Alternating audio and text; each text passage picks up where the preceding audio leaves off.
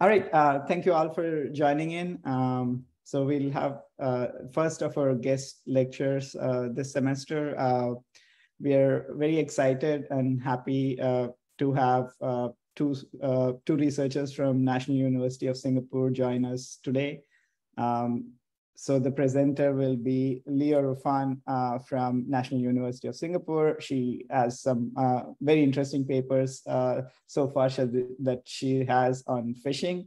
Uh, we as a research group uh, were very inspired by this work. So thank you for this research.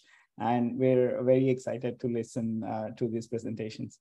And uh, we're also excited to have uh, Dr. Lin Yun, uh, uh one of uh, Liu's advisors, join in. So thank you so much for joining in, uh, Dr. Lin. And yeah, the floor is yours and you can start the presentation. Oh, okay. good evening, everyone. thanks, Prof. Fanny, again for giving us the opportunity to share what we have done so far. And today I want to share some of the research work we have done on phishing detection. The title of my presentation today is Catching Phishing by Looking at the Web Page Intention. Uh, as mentioned by Prof. Fanny, my name is Ruofan from National University of Singapore. And my supervisor is Prof. Dong Jin Song. I'm also co-supervised by Prof. Lin. Today, Prof. Lin also comes. So later in the discussion session, we can have a discussion. Uh, more about me is that I'm a second year PhD. My research interest is AI for cybersecurity. So the AI here in specific refers to the computer vision model. We apply computer vision techniques to tackle the security problems because the computer vision can provide explanations and it is intuitive for humans to understand uh, in the past two years, we have two publications on phishing detection. The first work is called Phishpedia. Second work is called PhishIntention. Today, I will uh, briefly go through those two works. Uh, I believe that uh, every one of us has at least once received a phishing email or phishing SMS.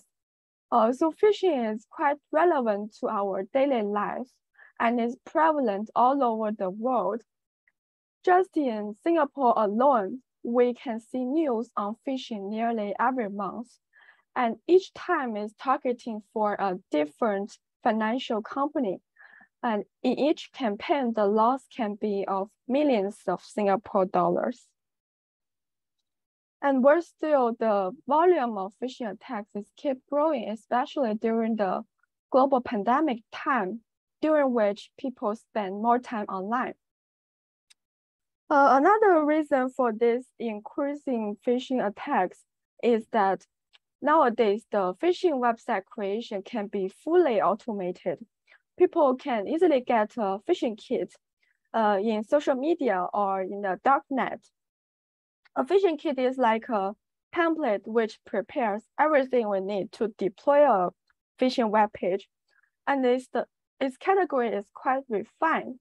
Uh, we can find different templates for office email online. So it actually lowers the barrier for launching a new phishing attack. So how phishing attack is actually conducted? Uh, let me first define what is phishing. Uh, phishing is a social engineering attack uh, so it tries to impersonate a benign target. It usually select one of those uh, well-known companies such as Microsoft, uh, Meta, PayPal, and its objective is to steal users' credential.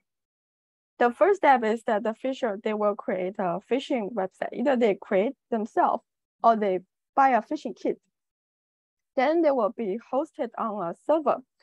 Mm, they can have their own server or they can compromise one after that, they will distribute the phishing link, eh, phishing link to the users via email, SMS, or social media. Then the user can click onto the link, uh, follow the instructions on the web page, and submit their credentials. The credentials will be sent back to the phishers. With the credential, phishers can do many things. So phishing attack can be the starting point of a series of other kinds of tech.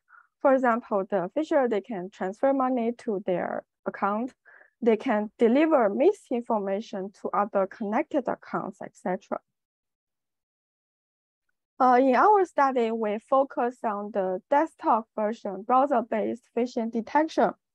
So we serve as the browser service provider like Google Safari, where we can see the web page first before the user actually visit them. Then we can take them down if we think it's a phishing web page. So we don't focus on phishing email, uh, this kind of thing. We focus on the phishing web page. Hmm. Uh, in terms of how to detect phishing, the simplest way and also the most common one is to have an ever updating blacklist of phishing URLs. That is uh, what Google Safe Browsing OpenPhish are currently doing. The drawbacks are uh, it heavily relies on users to report the suspicious web page. And according to a recent study, PhishTime, which is also published in Usenix, there is a, still a one hour delay from the time user reported until the time it actually appeared in the blacklist. And during this one hour, uh, Phisher can already make profits. And third thing, uh, it is easy to say that the blacklist can can be easily obsolete. Like the blacklist works for yesterday will not work for tomorrow because a phishing might turn to benign, a benign might turn to phishing. Uh, if blacklist solution is not the way, is not the correct way to go, then I don't know why this screenshot become distorted. Yeah, never mind. Uh, then what, what about we do some feature engineering on HTML or URL? For example, we uh, detect the typos inside the URL. Then once we correct those typos, it can contain the uh, some organization names. But the fact is that phishers, they have full control of their domain, so they can change it to whatever they want. They can change it to be uh, XYZ, or something irrelevant to the organization name. And in fact, more than half of the phishing domain names do not even mention the name of the target organizations. Uh, what about we do feature engineering on HTML? Uh, some of the previous researchers, they find that uh, phishing web page tend to be shorter, so they look at the length of the HTML. And also, phishing web page may use more external links than internal links. Uh, but those features are very easy to be bypassed. I can do, I can do HTML obfuscation without changing the rendered appearance of my web page. Also, it may have false positive problem because even for benign web page, they may possess the suspicious features we have. uh,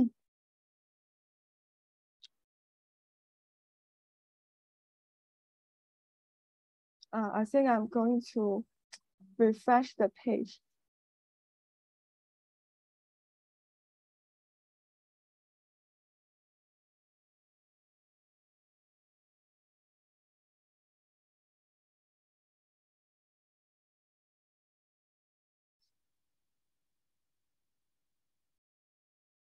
Uh,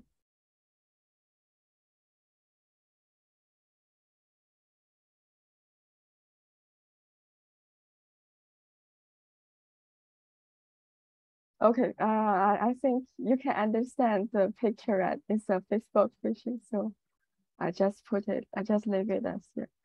Uh, so for the feature engineering based solutions, uh, the first drawback is that features can easily evade the URL based features and HTML based detection easily. And second thing is that it provides no, explan no explanation. Usually for this kind of solution, they give a binary prediction, either it's a phishing or a benign. Sometimes they will provide a classification score. For example, probability to be phishing is equal to 0 0.6. But why 0 0.6, not 0 0.7? There's no explanation. Human cannot understand why the model makes such a prediction. And third thing is that there's no prediction on the targeted brand. For example, if I'm only interested in PayPal phishing, uh, feature engineering-based solutions have no control on that. Uh, to address the aforementioned issue, we propose a phishing detection solution. We call it Phishpedia. We let the robot to locate the web page and to infer its brand intention from its logo. Uh, uh, here, actually, there's a Facebook logo here. So we want to see which brand is targeting from the logo.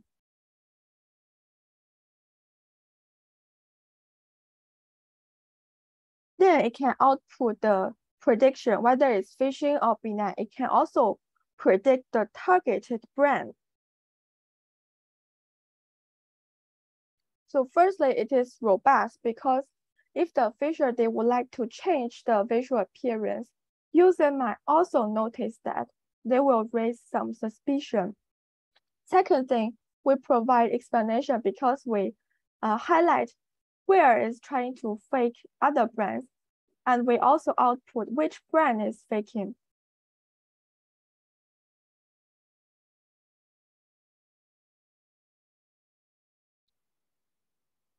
Let me go into the details of our Phishpedia approach. Uh, actually, Phishpedia falls into the category of reference-based solution. In reference-based solution, we usually have a reference list for protected brands. For each protected brand, we record its real domain because we don't want to report the real domain as benign. And second thing is that we save its representation. The representation can be its logo or it can be the screenshot. In Phishpedia, we use logo. In some of the previous work, they use screenshot. Then given a testing set, if its representation can be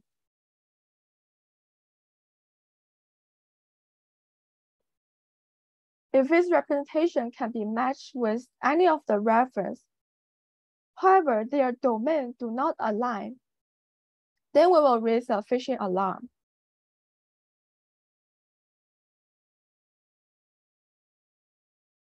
So prior to our work, there are three major existing solutions uh, called EMD, PhishZoo, and Visual PhishNet.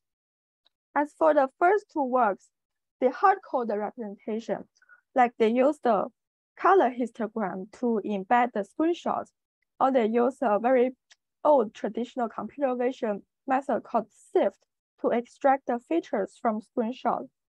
We find the representation extraction algorithm and representation matching algorithm they use are not very accurate. And a more recent work called PhishNet, which is published in CCS 2020, they use convolutional neural network to embed the screenshots into some high dimensional embedding vector but we find that the screenshot may contain a lot of noises.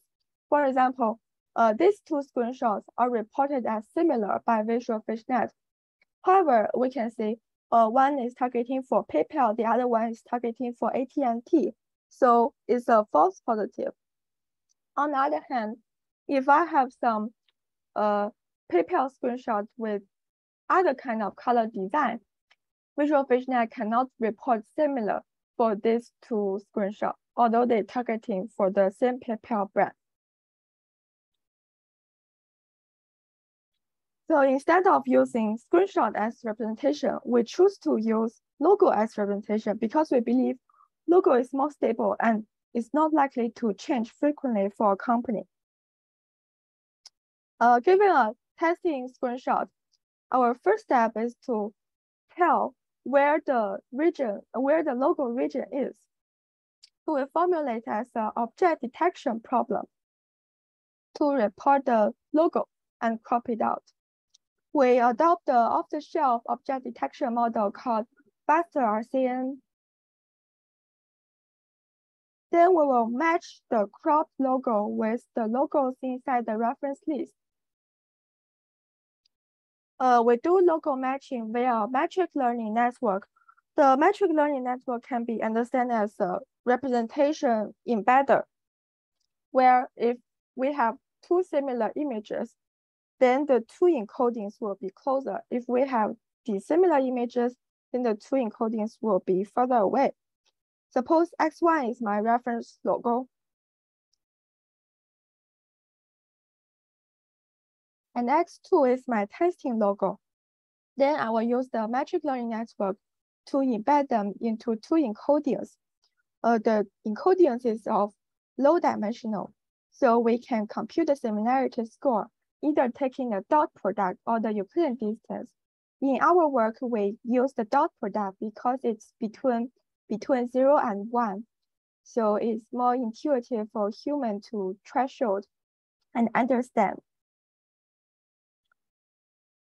Uh, if the testing logo X2 is similar to the reference logo, but their domain do not align, then we will raise a phishing alarm.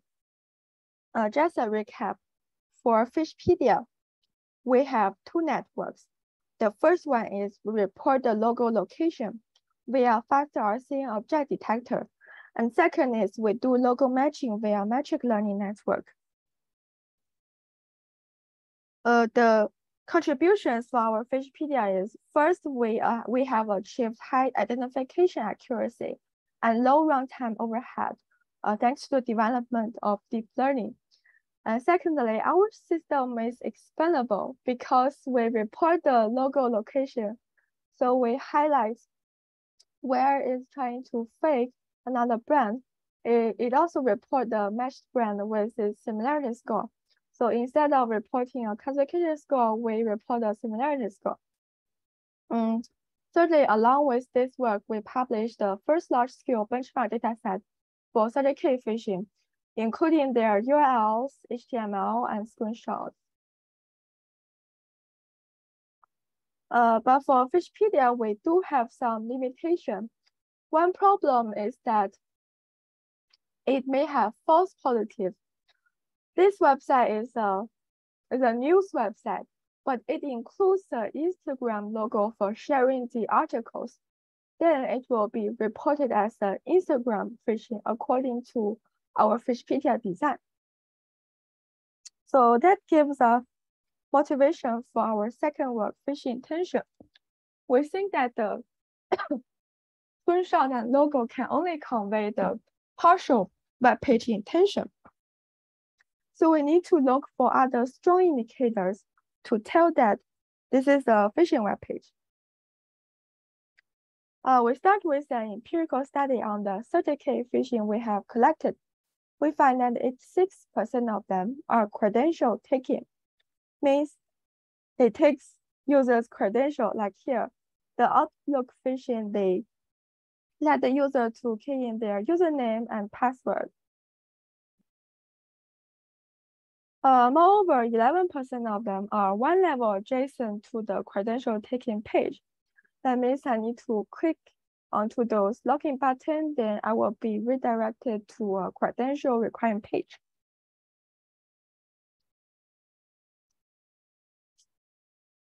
So we enhance Phishpedia by adding another intention, a credential taking intention on top of the brand intention. In addition, previously in Phishpedia, we only let the system to look at the screenshot, uh, which means we only do static analysis. But now in my phishing intention, uh, I will also interact with the web page. So it's both static plus dynamic approach.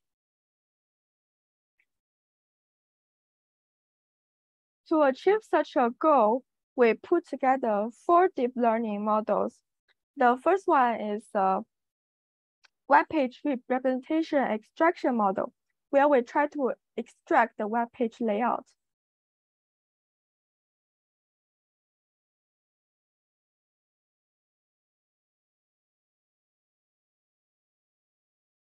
We still treat it as an object detection task. Uh, but aside from reporting the logo, you can see we also report the, the input uh, the button, the text labels, etc. Uh, this is to prepare the materials for later we have a credential taking intention recognition module. A second model is uh, brand recognition. Uh, it is the same as the logo matching in Phishpedia. Our third model is to uh, classify whether the web page is credential taking or not. So my input is a screenshot in RGB overlaid with the abstract web page layout output from model one. And it, they go through a deep learning classifier and output zero or one. Zero or one means it's credential taking or non-credential taking. Our fourth model is where the web page interaction comes in. Because the Visual they might create layers of phishing websites. So the landing page is not a credential taking, but we need to click in some login button to go to a credential taking. So we try to find such a button and click onto it. Uh, once we enter the uh, new credential requirement page, we will repeat the model one, model two, and model three again. Uh, as for the experiments, we basically have five uh, research questions uh, RQ4 and RQ5 are more interesting ones, so I will briefly talk about them. Basically, RQ1 is to test the precision and recall on, on our experimental set. RQ2 is to check the performance of locating a credential requiring page from a non-credential requiring page. Uh, RQ3 is, since we have four deep learning models, so we check the performance of each component. Uh, RQ4 is to test the robustness for each deep learning model. We have designed three kind of adversary. The first one is the misleading legitimate page as an adversary. We collect around 3K misleading legitimate page and they contain some sharing buttons of social media brands. Uh, the goal of having such a data set is that because they can compromise the existing logo-based approach. Our second adversary is HTML obfuscation as adversary. So we try to replace the login related keywords inside the HTML form and also the URL uh, the our performance should be preserved because we heavily rely on computer vision. We don't rely much on the heuristics. And the third kind of adversary is the adversary attacks on deep learning models. Uh, there are many existing adversary attack methods. We just choose uh, five of them for classifier and one representative, representative approach for object detection model. Uh, the basic idea is they try to perturb the screenshots such that the classification or, or the region proposal changes.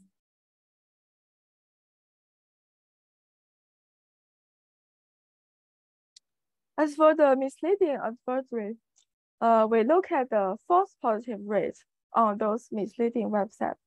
Uh, in the graph, we look at the red bars uh, we can see that phishing intention only incurs false positive rate of 5%, which is much lower than uh, the baselines. For the HTML and URL obfuscation, we can see uh, the performance is largely preserved after the adversary attack compared to the baseline. A baseline is an called XDriver is published in CCS 2020. Uh, it relies on HTML keywords to detect the uh, credential taking form and also the credential taking transition buttons. As for the deep learning model adversary, the performance decreased a lot when we use the adversarial attack method specifically designed for deep learning models. But after we equip with some gradient masking defense method, uh, our performance can be preserved. Uh, RQ5 is a phishing discovery experiment in the wild where we try to detect zero-day phishing web pages in the wild. Uh, to do that, we deploy a phishing monitoring system. We start with a CertStream caller. CertStream is a service which provides fresh feeds for uh, newly registered domains every day. Then we crawl those web pages and store them in a database. We let the five solutions to process all those web pages. And they will report some phishing. We will send the reported result to a Telegram group where we have uh, three security experts to individually manually verify whether they are real phishing or not. Our evaluation metric for the wild study is first we look at the number of real phishing divided by the number of reported phishing. Second, we count the number of zero-day phishing that is not reported by VirusTotal.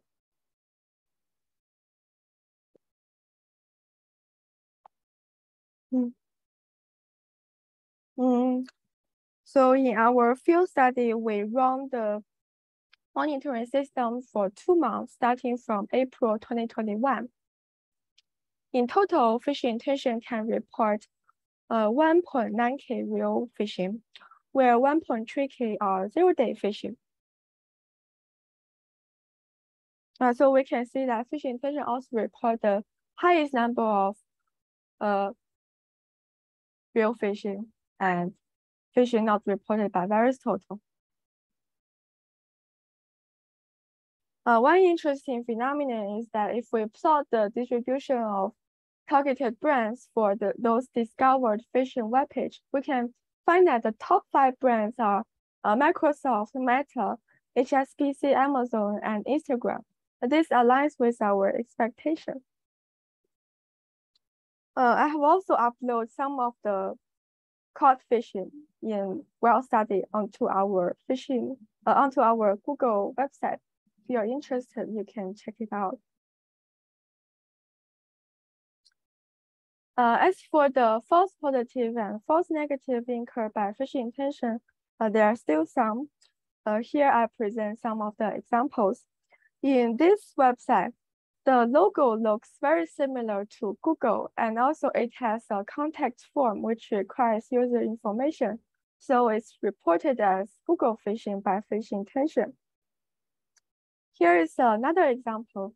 Because the logo looks similar to WhatsApp, and uh, our system cannot distinguish a search form with a credential taking form. So it is reported by phishing intention as a WhatsApp phishing. As for the false negative, uh, the main reason is that some websites, they, they require user to interact first, then show the phishing content. So our system currently cannot defend against this kind of client-side cloaking. Hmm. Uh, let me re-emphasize the contributions of our phishing intention. The first day we look and interact with the web page to infer its brand intention as well as the credential taking intention. Second, we have experiments on its uh, uh, effectiveness, robustness, and usefulness, uh, both on the experimental data set and also on the field study. Thirdly, we implement a phishing monitoring system where we find that phishing intention can report the highest number of zero-day phishing with the highest precision. Uh, there are mainly two limitations. The first one is we, we cannot deal with the client-side cloaking pitch, such as the use of reCAPTCHA and QR code scanning. Second thing is, uh, because we rely on the logo intention, so we cannot deal with those phishing without a brand. Maybe there's some other intentions we can find for this kind of phishing. Uh, as for the future work, the first possible direction is that uh, maybe in the future we can have some phishing detection solution which can defend against cloaking. Then we need to have some cloaking, uh, cloaking type classification and defense mechanism. But uh, overall, it's a very challenging task because first thing is that the phishing website, they can do finger, fingerprinting. I think Prof. Phani is very familiar with this kind of thing, fingerprinting. They can design some advanced cloaking, cloaking vectors, like they look at the WebGL uh, canvas of your browser. Uh, second is that we need our system to imitate a real user. For a real user, he can understand the content of the web page. He can also uh, solve the challenge of reCAPTCHA. Uh, second possible direction is we, we design some behavioral intention to address those brandless phishing. That means we need to study how can a human judge a benign versus a phishing web, web website. Uh, then we need to maybe do some human subject studies, uh, study some behavioral science or psychological theory to design such an intention. Uh, our code is available on GitHub. If you are interested, you can try it out. So I think that's all for my presentation today. Uh, any question is welcome.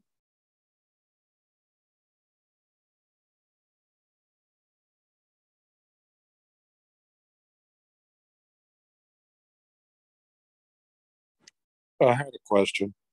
Oh, hi. Hi, uh, my name's Chris. I'm one of Dr. Vadrevu's students. Um, what APIs uh, did you use in your experiments?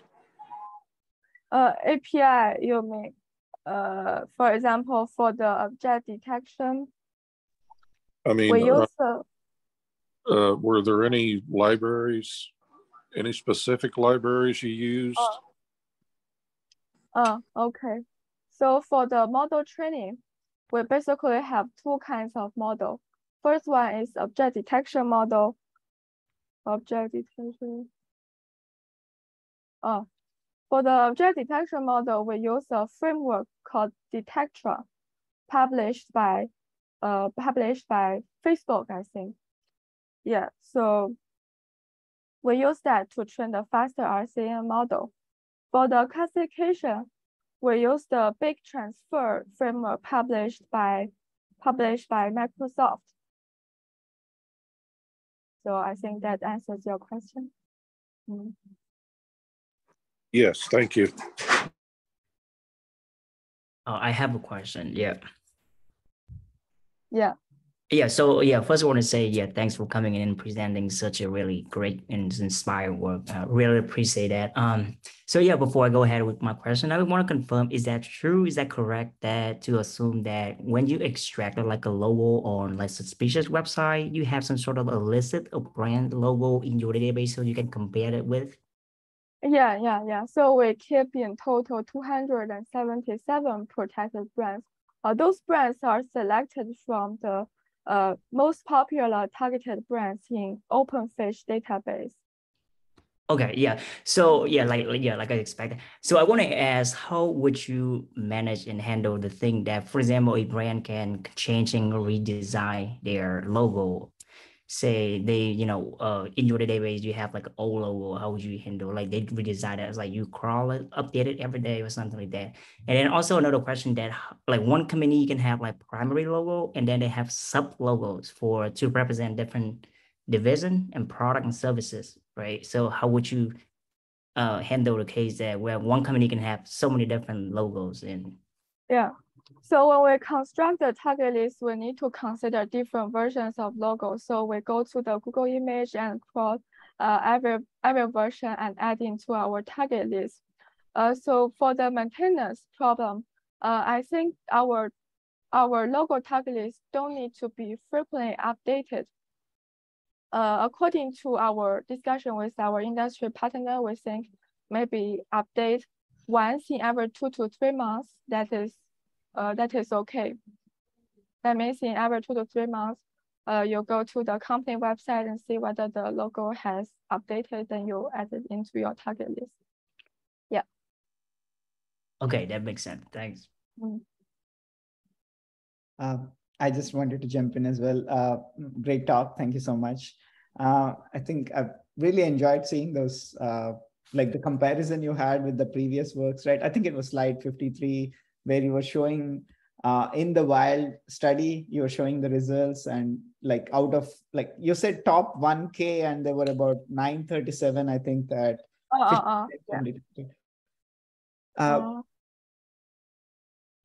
53 I believe. oh yeah 938 okay yeah so uh, just one quick question so what is the 1k here oh so, oh uh because the our system will report a similarity score if the similarity is score is high that means our model is confident right okay. so okay. we rank according to the confidence score select those top 1k confident by our model uh, by each of the model and then compare yeah so for visual fishnet, it would be their confidence score, like whatever the confidence score of theirs. Oh, yeah, yeah, yeah, yeah. Oh wow. Okay. So and and essentially this is from uh, uh, this is from a general feed of websites that you're getting from CertStream right? So from Search, yeah. you looked at websites and you took the top thousand highest scoring websites uh, for this, correct? Oh, correct. Oh, okay. So essentially, then, uh, would you uh, like say maybe uh, the the remaining uh, how do I say 62 are false positives in this case, right? Uh, so for PhishIntention, 938 uh, are uh, like you know uh, phishing, which means the remaining 62 are false positives, right? Oh yeah, yes, yes. Okay, okay, yeah, yeah. Mm. I mean that's that's really a great number, and it uh, completely eclipses other work. So, so yeah, great work. Um, okay. I just wanted some clarification, but I wanted to add something. Uh, you mentioned uh, like uh, so having a brand and then having credential taking intentions, right? So you were considering two things. Now mm. I wanted to ask you this question: Have you considered cryptocurrency phishing websites, like in phishing websites in cryptocurrencies? So uh, are you familiar with projects like MetaMask or uh, th- these are cryptocurrency projects? They're, oh. cryptocurrency wallets. So yeah, the- yeah. so they usually require API a token, a, a token, right? A wallet token. Yeah, exactly. I mean, they try to steal wallet token, but I think if you mm. look at the front page, uh, they they wouldn't have any credential stealing things in the first wouldn't uh, but, but, but still they would probably have apis that try to connect to the wallet or things like that. So i mean uh, i was wondering like if you could expand this to the cryptocurrency space too. It would add a difference in terms of interaction mechanisms but i think maybe you could hmm. expand this to there as well and, yeah yeah yeah yeah. Uh, we also observed that for the cryptocurrency companies like MetaMask and Wallet Connect, our PhishIntention cannot report them because they requires a different kind of credential, uh, different from uh, like what we have trained in our training set. Right. Oh, okay, okay. Yeah. Okay. Yeah, yeah. But you you can see yourself expanding to that if needed, right? Yeah, so, yeah, yeah. Okay. Mm. All right, mm. yeah and i think uh, the future work questions that you had were also uh, yeah uh, interesting especially the user and the usability angle. So i, I think i thought that was interesting. Uh, okay. so in terms of uh, i was curious uh, in terms of cloaking have you seen cloaking like you know issues of cloaking in in the real world? Issues like that or uh, uh, like you know, somebody evading uh, cloaking mechanisms is that what inspired you to like you know look into the cloaking as well? I was just curious like uh yes yes yes because we have observed some false negatives because of cloaking. Although not much but we think if we can address then there's uh, another contribution yeah. Okay okay. All right. Mm. yeah thank you. Uh anyone else? Oh, if uh, I don't know why I'll just ask again. Uh, yeah, I, I just want to add Dr. Phani point that you want to expand it because like have you considered to expand your work to like software, um, social uh, engineering at tech in general? Like because some of the website can have you know maybe the branded, but they don't have like a like Dr. Phani said like a um, uh credential intention. They just like put the information like for example scam a phone or something like trying to get people to call them like so just want to ask have you considered you know expanding the word to detect some website that in general um? Mm, you mean some website they they will leave their contacts and have people to call them? Right right mm, i think this case is a bit ambi ambiguous because for benign web page uh, if they want to sell something, they may also leave their phone number, leave their email. So even for human, it's hard to decide whether it's a phishing or just a normal site. Right? Gotcha, gotcha. Mm. Uh, I just provide a small complementary to Ruofan's answer. So mm. here on our solution is an implementation of detect the of the to detect the the credential taking part, but in reality, there's a lot of ways to take in the credentials. For example, ask people to scan a QR card, and it provide a phone call, which is another channel for people to provide the other credentials. So in the long run, the philosophy of credential taking credential taking intention is still necessary, but it leave a room for new new, new works to come in to to criticize our work and design new form of credential detection approach.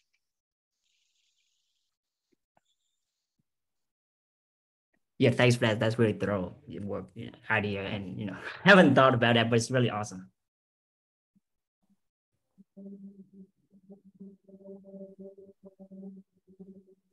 Vincent, you want to go ahead? Hello, Dr. Dr. Vajul. You know, you, I'm at my background is non-CS. Possibly my question may be, may be quite exactly related to what you are talking about, but you know, can I ask a question like this, Vajul? No, Dr. Vajul? Yeah, yeah, please go ahead. Yeah. Thank you so much, you know. So thank, uh, thank, uh, Ruofan, thanks for your presentation. So since I'm also faculty in University of New Orleans, I'm, I'm currently taking uh, Dr. Vajul's class in uh, computers uh, web security. You know, so my question may may may not be related, directly related. Okay, so how do you design your experimental tests? That's my question. You as as shown in your PowerPoint, for example, uh, you your experiments start from April 2021, right? So mm. two months is the reason why my background is non-CS. I'm trying to compare the how, for example, how many hours have you spent you have spent on this, and then for the students, what's your role here, and then what's the faculty's role here? Because my way of thinking is how can we manage such a huge lab, you know? Because because of my non-computer science background, I'm trying spending time to understand what you are doing in the computer science field, you know. So I, you know, because for my own consideration, you know, so look like some story beyond look like what you are discussing right now. So whatever you you you, you would like to share with me, you know. Uh, uh, sorry, may I clarify that your question is how do we design the phishing discovery experiment? Yes, because oh as a faculty, we need to understand and, and figure out how many students do we need, how oh. we can design, what idea you may contribute to the experimental test. Possibly you borrow a lot of idea from your supervisor and then what's your supervisor's role? You know, that's, you know, that's what I'm thinking because I'm also supervising my students, you know. And mm. also I'm very interested in the difference between traditional field and the, you know, CS is so fancy. I'm from I'm from the naval architecture. Okay, I'm from the ship design, like boat design. I know offshore platform design is also very very popular in Singapore, right? So, you know, some difference, you know, some common. That's what I'm thinking. So, thanks, mm -hmm. Dr. Vandra. You allow me to ask some kind of questions, maybe beyond the scope right now. mm. Yeah, whatever you'd like to yeah. share, you know. So. Uh, so uh as for the CertStream service, previously I, I didn't know this service and Prof. Lin have used this before, so he told me that I can get feed from this service. Uh, so then I'm thinking maybe we can just crawl the web page from there because every day they can provide around 60k web page. We may not crawl all of them, but uh, so so why not we use these data sources? And then we we have five solutions, so we, we will let them to process them, but some of them may be slower. So what we do is we first crawl them and store them locally, and then let the process to, let the file process to run instead of uh, crawl and run. So we break it into two steps because we want those five processes to see exactly the same number of web pages. Okay, then after that, we need to somehow manually verify it, right? So we need mm. to hmm. have some volunteers to vote for the reported result. Uh, we basically have a Telegram. Well, we have a Telegram group. Maybe I can, I can show you how it looks like. Um, let me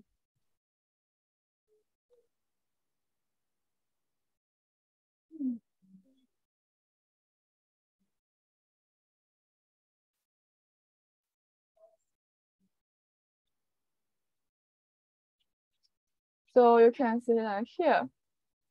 Uh, here I have a I have a robot which push the reported result to our group. Mm. Uh, hmm. inside group we have some members. Uh, the members are the uh, final year uh, final year undergraduate student. They are doing their final year project here. So they will vote yes, no, or unsure.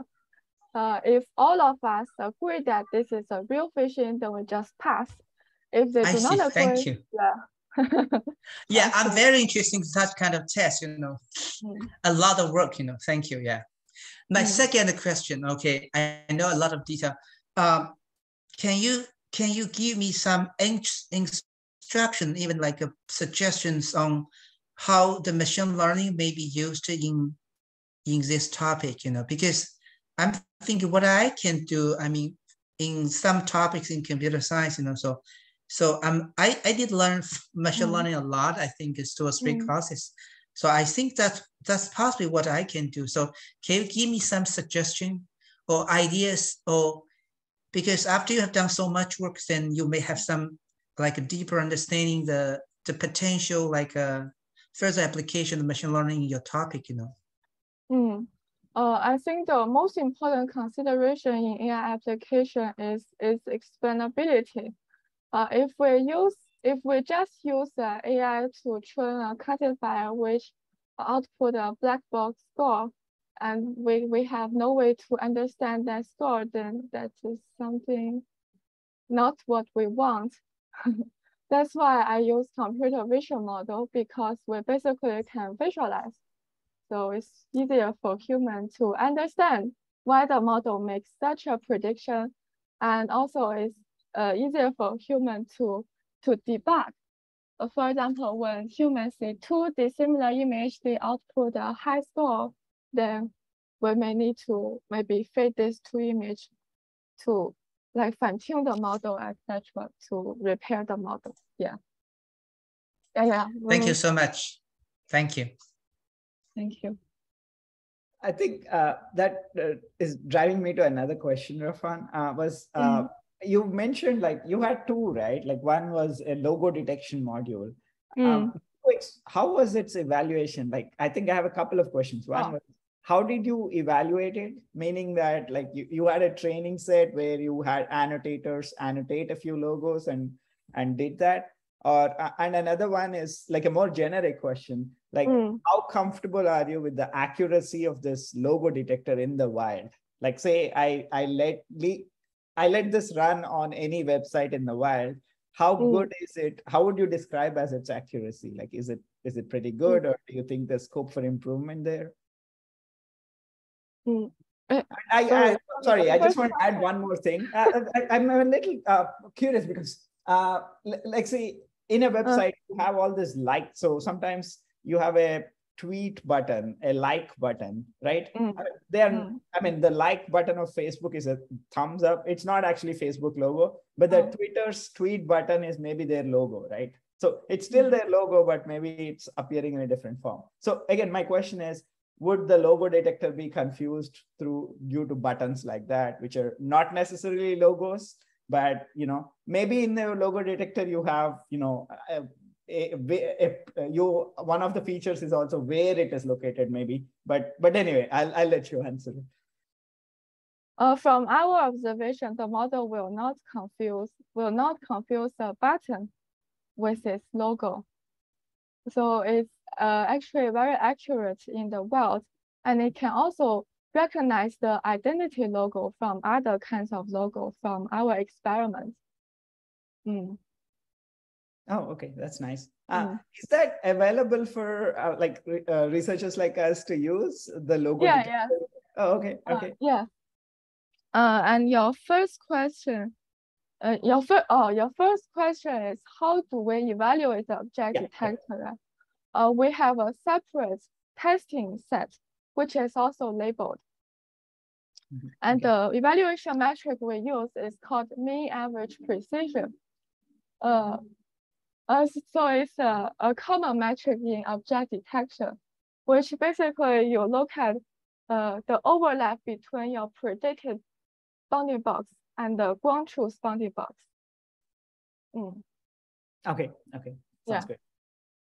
Mhm. Um, one last thing I want to add is, uh, so I think another question I have is, uh, like e- even for any phishing detector, right? So, Mm. for example, say Google, they don't have a website just google.com. They have google.co.in. They have google.com.au maybe for Australia, for Singapore. They have different versions of Google, right? Mm, And, and I would mm, expect the same for any kind of benign website. So my mm.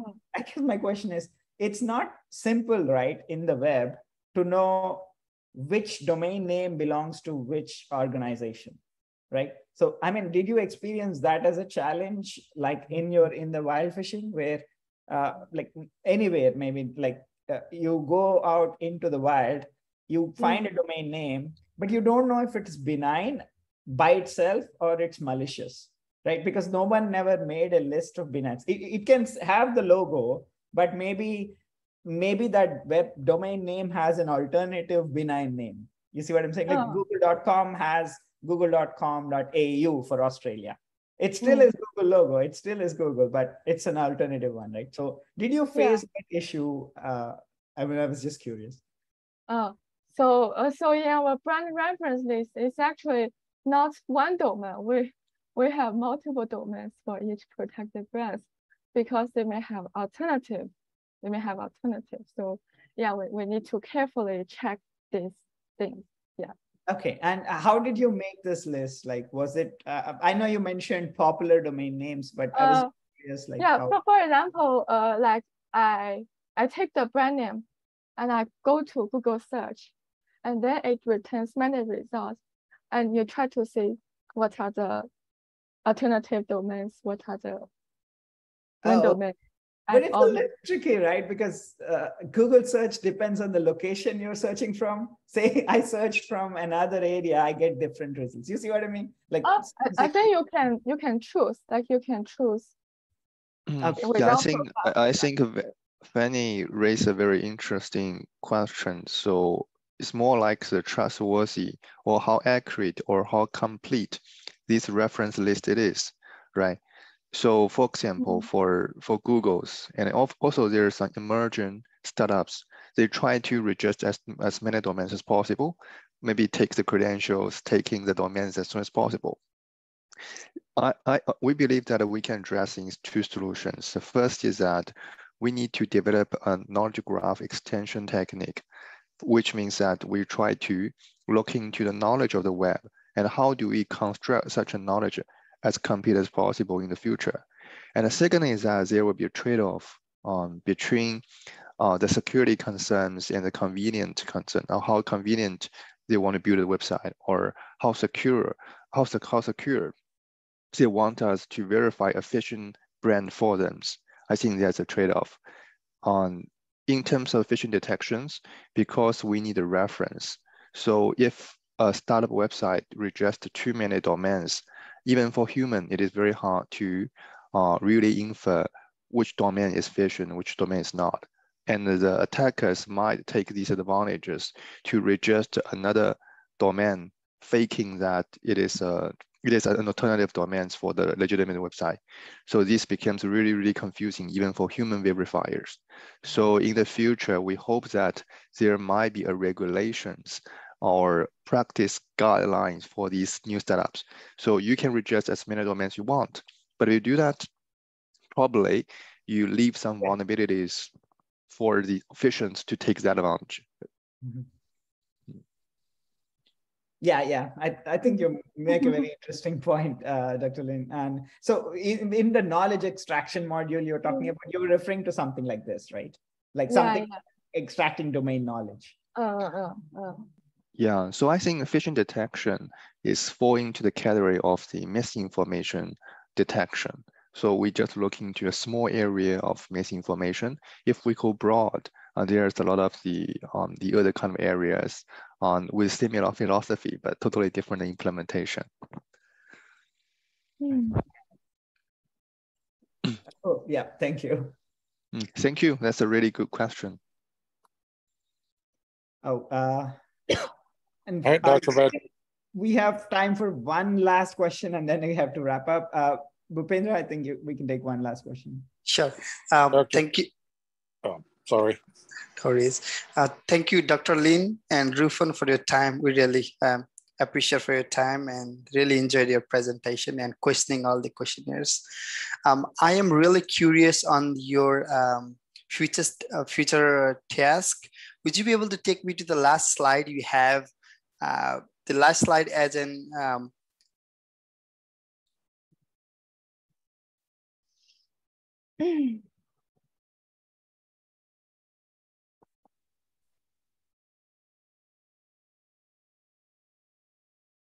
Okay, so on this, on the behavioral intention part, um, during your data collection, was there any uh, phishing URL that actually uh, were doing evading based on the uh, based on the instances or based on the automation logic that you use? Um, what inspired you as a second uh, on the second intention? Uh, uh, yes, uh, in, in our experimental set, maybe there are 2% of them uh, don't have logo, uh, don't have logo. The rest of 98% uh, of them, they do have logo. But for those 2%, if we still want to address them, we may need some other intentions. For example, look at their behaviors, whether they have any suspicious behavior. Yeah. Okay. Was there any manual inspection being made on, on this website? What what was the kind of evading logic they actually can use? Uh, oh, so it's like they, although they don't put logo, but they, they will have an implicit brand. For example, they say they come from Facebook, they just don't put a logo there. So the user, they, they still know that it's a Facebook. Okay, mm. thank you. All right. Uh, thank you so much. I'm afraid we're out of time uh, for today. Uh, so, but thank you so much for joining you both. And, thank uh, you. Dr. Dr. Yeah, thanks for the invitation. Thank you. Hey, Christopher. Yeah, please go ahead. Um, well, I was wondering why they were still on. Um, I had something in my head. Would a transformer produce better results than an RNN? Oh, CNN, you mean transformer is better than CNN? Mm. Oh, transformer, or transformer usually works better for those NLP tasks. But for the computer vision task, maybe transformer is not that needed using the convolutional neural network can already give a very good result. Yeah. Well, um, trans transformers usually take a uh, much less time to train. That's why I was asking the question. Oh, but it's uh much more parameter, much larger parameter space. Yeah, transformer. If you want to train a transformer from the draft, you definitely take a much longer time than convolution layer. But the good, but the benefits of transformer usually people adopt the adopt the transfer learning, which means that they have the off-the-shelf model for you to to to start. But basically, transformer usually take a lot of parameters, just uh, as mm. Ruofan mentioned. Mm. Yeah, because it's um, you're taking the output and feeding it back into the input. Well, similar to the RNN, but um, mm. it uses the attention layers instead. Okay. Mm. Thank you. Thank you. All right. Uh, thank you. Thank you, everyone. Bye. Bye. Bye. Thank you so much for uh, coming. Bye bye.